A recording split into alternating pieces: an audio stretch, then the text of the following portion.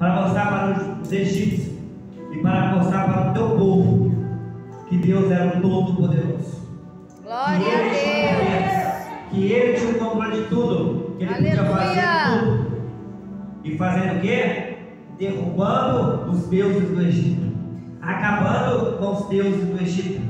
Para mostrar que havia somente um Deus, um Deus de Israel, um, povo, Deus a qual o povo israelita adorava, a qual o povo judeu buscava e clamava. Este era o verdadeiro Deus a ser seguido, a ser cultuado, a ser adorado. Glória a Deus. Aleluia. Não aos outros deuses a qual os egípcios buscavam e serviam.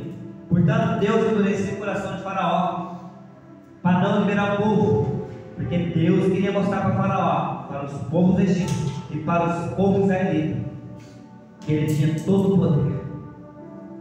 Deus endureceu o coração de Faraó, ao mesmo tempo Deus ia lá e. Até Deus formar a Páscoa.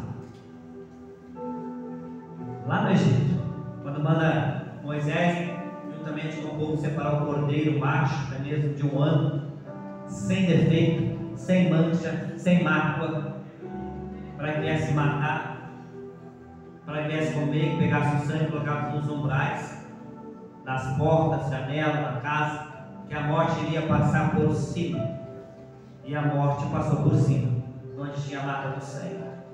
Ali se formou a celebração da Páscoa, onde foi formada a Páscoa. Lá no